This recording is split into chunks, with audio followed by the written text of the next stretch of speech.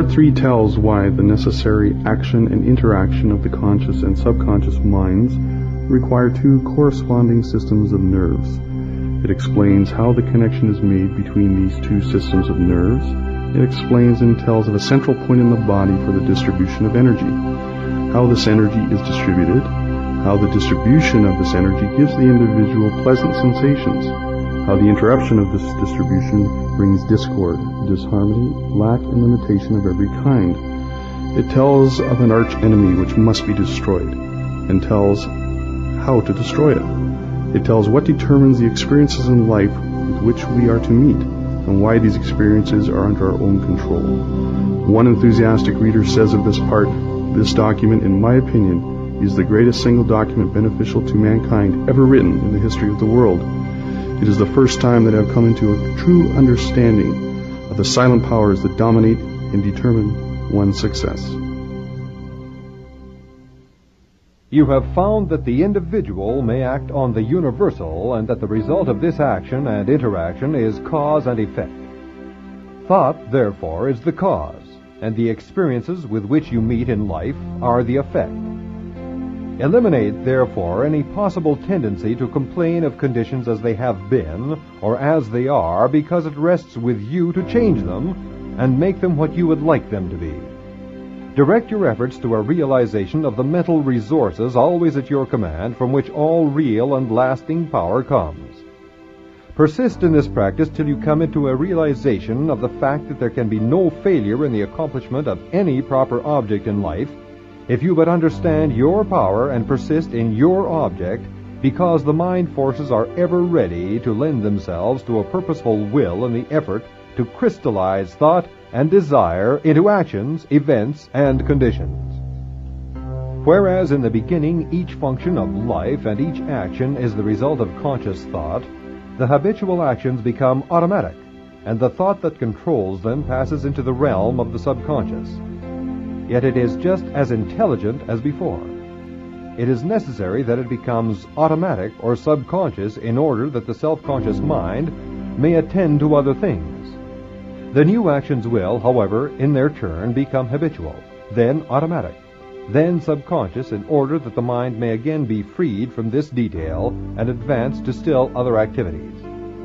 When you realize this, you will have found a source of power which will enable you to cope with any situation in life which may develop. The necessary interaction of the conscious and subconscious mind requires a similar interaction between the corresponding systems of nerves. Judge Troward indicates the very beautiful method by which this interaction is effected. He says, the cerebrospinal system is the organ of the conscious mind, and the sympathetic is the organ of the subconscious. The cerebrospinal is the channel through which we receive conscious perception from the physical senses and exercise control over the movements of the body. This system of nerves has its center in the brain. The sympathetic system has its center in a ganglionic mass at the back of the stomach known as the solar plexus, and it is the channel of that mental action which unconsciously supports the vital functions of the body.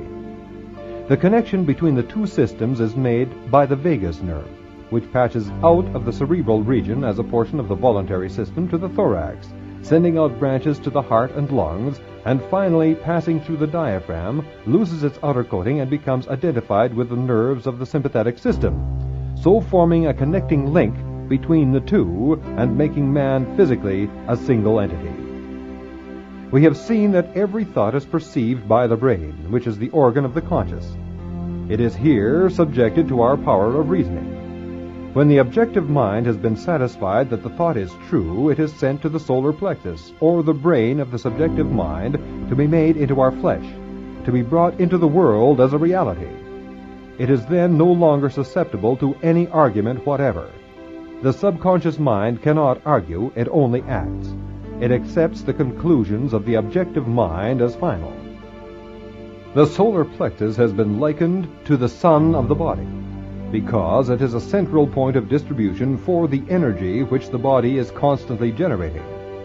This energy is very real energy, and this sun is a very real sun. and the energy is being distributed by very real nerves to all parts of the body and is thrown off in an atmosphere which envelops the body. If this radiation is sufficiently strong, the person is called magnetic. He is said to be filled with personal magnetism. Such a person may wield an immense power for good. His presence alone will often bring comfort to the troubled minds with which he comes in contact. When the solar plexus is in active operation and is radiating life, energy, and vitality to every part of the body and to everyone whom he meets, the sensations are pleasant, the body is filled with health, and all with whom he comes in contact experience a pleasant sensation. If there is any interruption of this radiation, the sensations are unpleasant the flow of life and energy to some part of the body is stopped, and this is the cause of every ill to the human race, physical, mental, or environmental. Physical, because the sun of the body is no longer generating sufficient energy to vitalize some part of the body.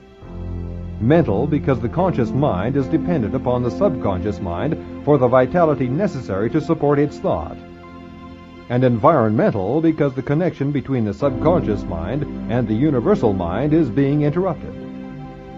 The solar plexus is the point at which the part meets with the whole, where the finite becomes infinite, where the uncreate becomes create. The universal becomes individualized.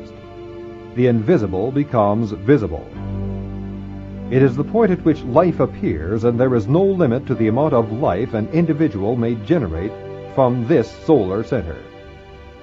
This center of energy is omnipotent because it is the point of contact with all life and all intelligence. It can therefore accomplish whatever it is directed to accomplish, and herein lies the power of the conscious mind. The subconscious can and will carry out such plans and ideas as may be suggested to it by the conscious mind. Conscious thought, then, is master of this sun center from which the life and energy of the entire body flow, and the quality of the thought which we entertain determines the quality of the thought which this sun will radiate. And the character of the thought which our conscious mind entertains will determine the character of the thought which this sun will radiate.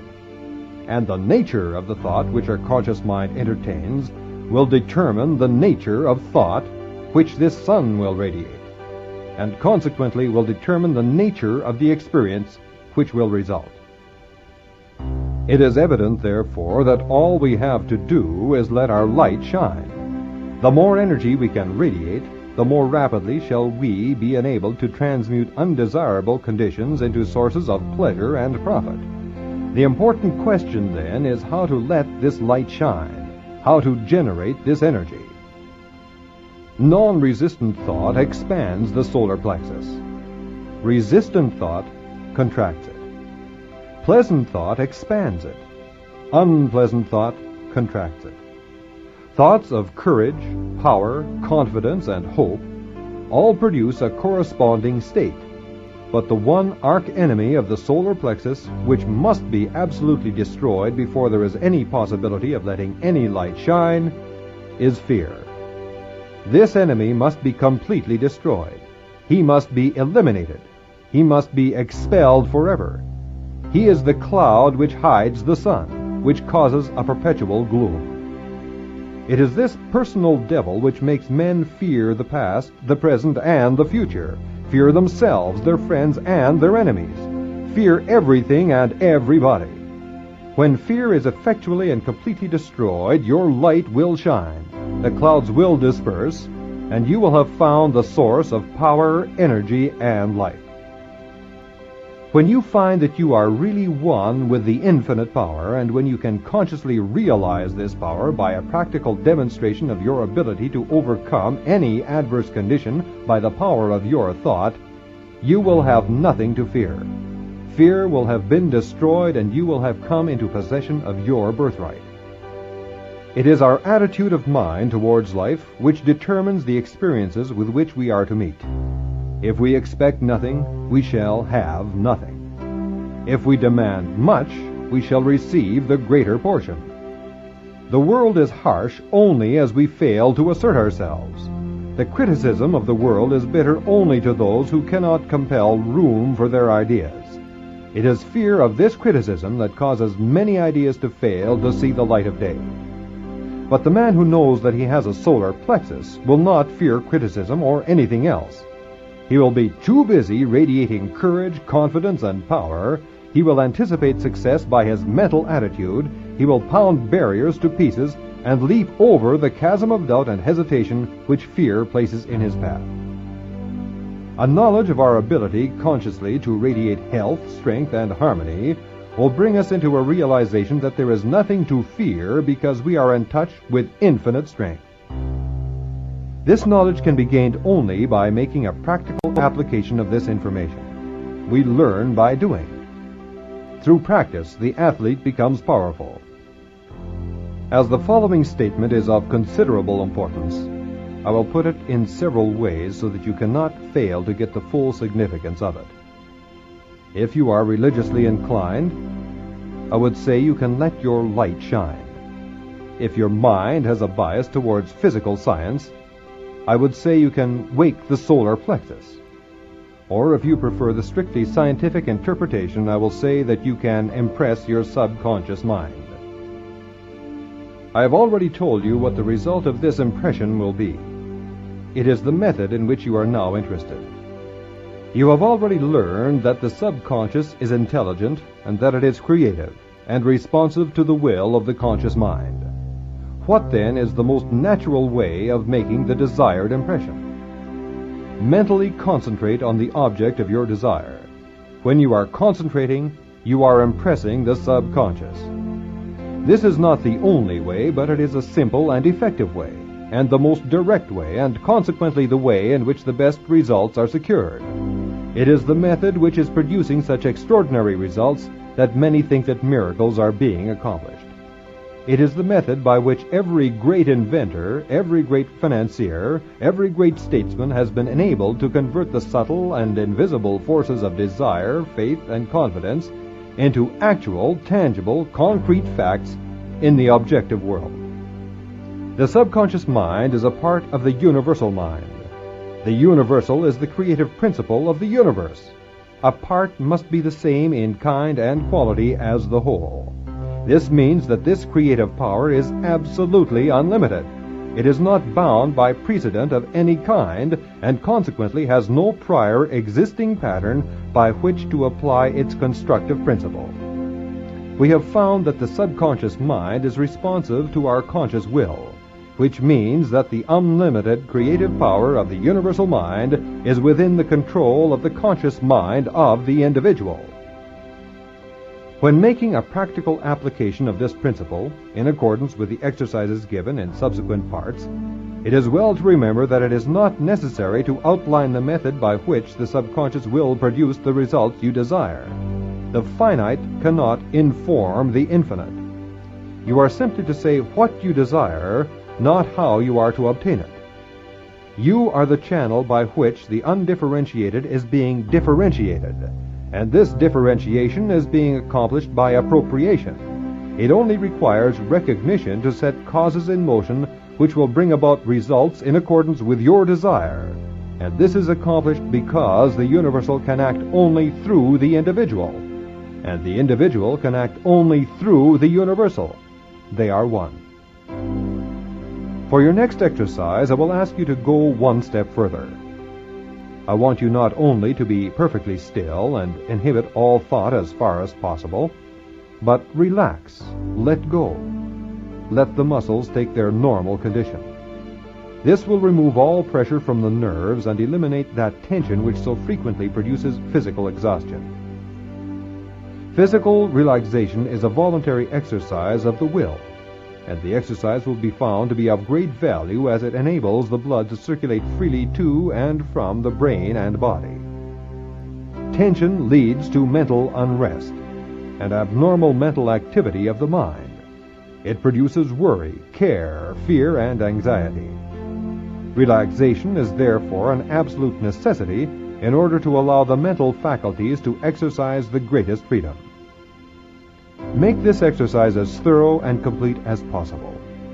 Mentally determine that you will relax every muscle and nerve until you feel quiet and restful and at peace with yourself and the world. The solar plexus will then be ready to function, and you will be surprised at the result. In the words of Emerson, we judge of a man's wisdom by his hope, knowing that the perception of the inexhaustibleness of nature is an immortal youth.